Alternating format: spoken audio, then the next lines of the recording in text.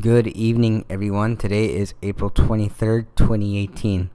In today's video, I'm going to show you how to send cryptocurrency from your GDAX account to your KuCoin account. Few things I want to get out of the way before we get started. The first is I'm not a financial professional or advisor, so the contents of this video should not be interpreted as such. Uh, the second thing is you will need a GDAX account. So that is an exchange. It's uh, essentially the same company as Coinbase. The third thing is you will need a KuCoin account. If you don't have accounts through GDAX or KuCoin, I've got links to both in the description of this video.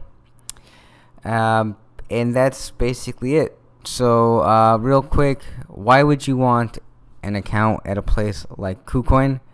I am not going to make the argument for KuCoin in particular, but basically, there are exchanges like KuCoin and also KuCoin, and they have a much broader selection of cryptocurrencies that you can purchase from. These are selections that are far broader than what's available in Coinbase and GDAX and Gemini and any other major uh, cryptocurrency exchange.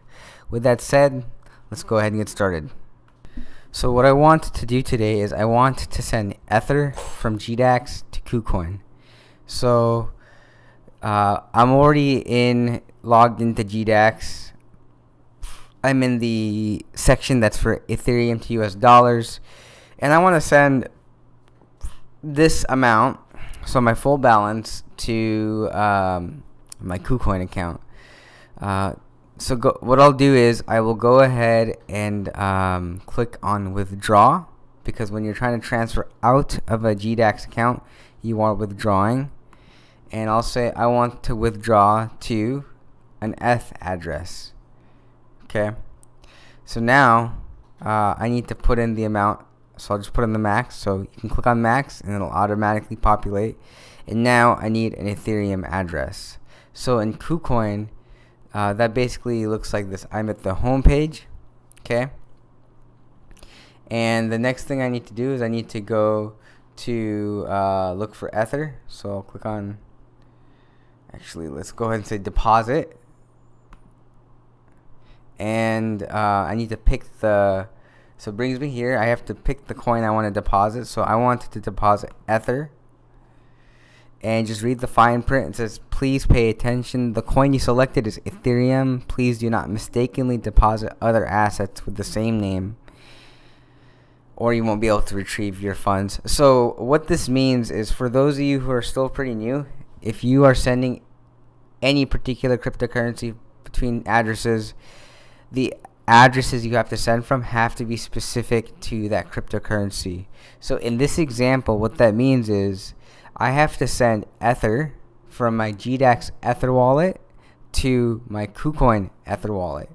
If they are not both Ether wallets, I will lose my Ether. So I'm in KuCoin.